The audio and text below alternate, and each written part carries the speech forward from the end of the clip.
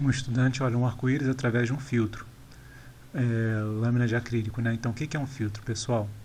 Um filtro é um, um bloquinho, né? pode pensar num filtro como um bloquinho, só que ele é transparente e ele deixa passar só algumas cores. Né? Então, nesse caso aqui, se é um filtro amarelo, ele só deixa passar a cor amarela. Né? Então, pode chegar vermelho, verde, azul, amarelo e por aí vai, todas as cores e ele só vai deixar passar o amarelo. Então é por isso que ele é chamado de filtro, né? ele filtra as outras cores. É, então o que, que vai acontecer se você olhar um arco-íris através de um filtro?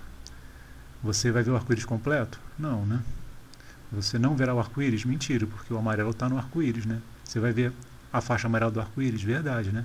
Você não vai ver as outras, mas você vai ver a amarela verá todas exceto amarela, falso, e verá apenas as faces alaranjadas, não, errado. Beleza?